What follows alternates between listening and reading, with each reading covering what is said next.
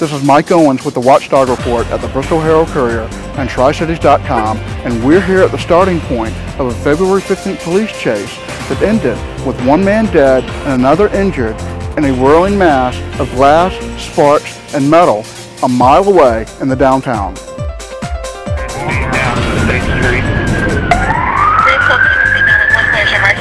There was a car just wrecked being chased by an officer on State Street.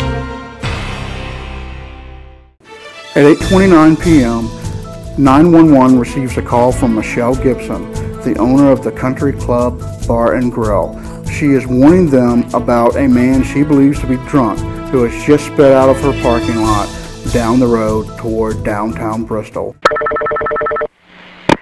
Department, this is Brandy. How can I help you?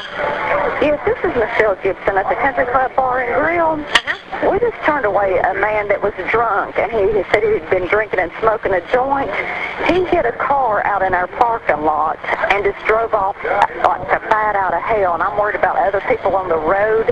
It is a red four-door older car with South Carolina plates, and he's heading towards downtown Bristol. Okay, we'll go ahead and get someone to take a look for him, okay? You said he was headed toward Bristol? He was headed towards the, uh-huh. All right, we'll let him know. Thank Okay. you. Bye-bye. Bye-bye. At 8.35 p.m., 911 receives a call from a motorist complaining about a drunk man staggering through the parking lot of State Street Liquor and Wine. Police Department, Anderson.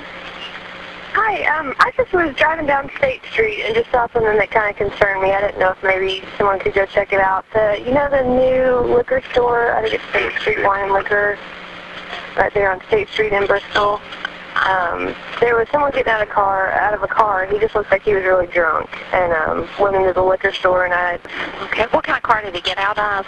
it was a red. Um, I'm not sure what kind it was. It was a bright red one. It's parked in the parking lot right now, and it's still running. He left the car running and got out and was kind of stumbling around in the parking lot. Officer Matt Cousins pulls up just as William Marcella backs up into a telephone pole. Officer Cousins throws on his lights, gets ready to stop uh, Marcella, but he drives away over a concrete embankment, down steps, fishtails into the street, and speeds off. Gonna be trying to stop the highway. He's fleeing the scene. He's back into Pensacola Joe.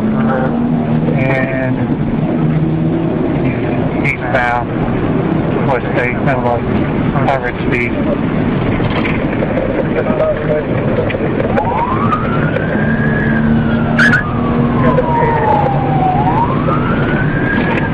seven miles, he's average speed down State Street.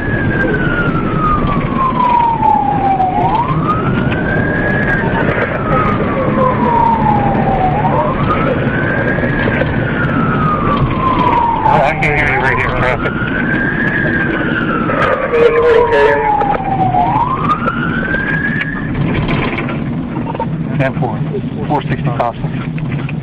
Sixty possible.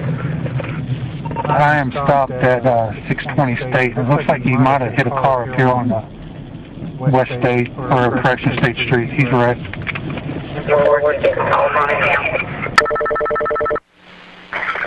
Bristol, Tennessee 911. Where's your emergency? Right in front of the Paramount in Bristol, Tennessee on State Street. Please send someone quick. Okay, we should, we have officers that are out there. Are you a witness to it?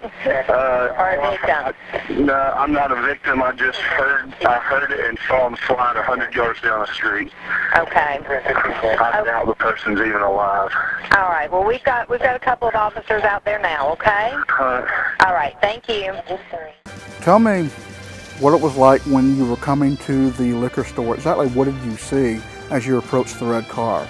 Uh, I was approaching the liquor store on uh, West State Street, and uh, as I arrived, the liquor store is to my right, and I observed a red Oldsmobile in the parking lot, and it backs up into a telephone pole that's in the uh, kind of on the edge of the parking lot in the street there, and it, it backs directly into the telephone pole.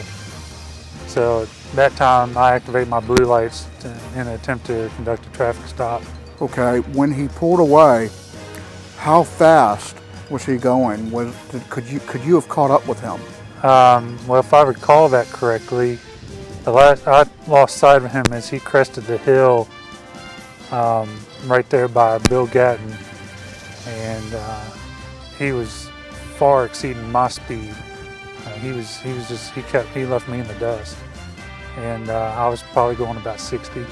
By the time you reached the intersection leading to the downtown, was he still in sight? He took off so quick it was there was no catching. him. He, he decided to go no matter if police were around or not.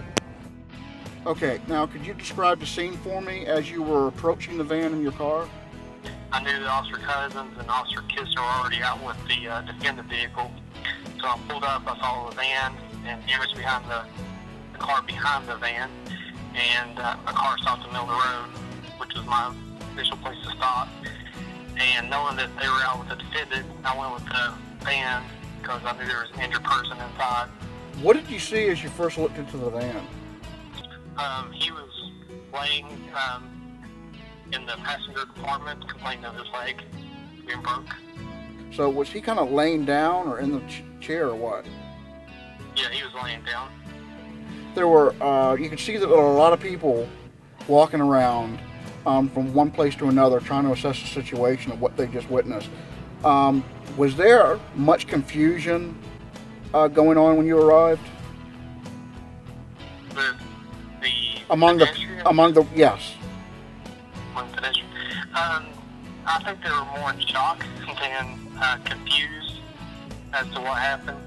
Um, I think we secured the scene fairly quickly. We're here with Michael Brabson, the one man who was injured in the wreck and survived. Kind of set the scene for me. What were you doing when the car came and downloading movies to uh, occupy my time while I was at the at the shelter. what happened after it slammed into you? Um,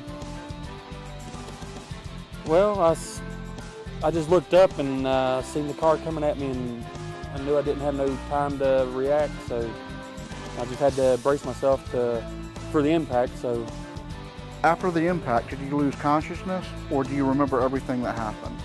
I can remember after the after the impact, uh, I, I can remember getting up and unlocking, trying to unlock all the doors or any door to get out, but the two front doors were welded shut, and um, the only door I could get out of was the sliding back door. Did you scream for help or did anyone find you? A young lady that come and uh, uh, seen how I was, and then it was probably I'd say a couple of minutes after that when uh, the cops actually arrived. When they actually cops actually showed up at the where I where I was at. Tell us, what is your life like now? Is everything working okay for you or is the injury still healing? Well, I'm not allowed to put any weight on my leg because I've got a titanium rod in my leg. I've got two screws and I've got a pin uh, going toward my socket to hold my leg on. And um, I have to go to the doctor to find out how long it's going to be before I can put any weight on it.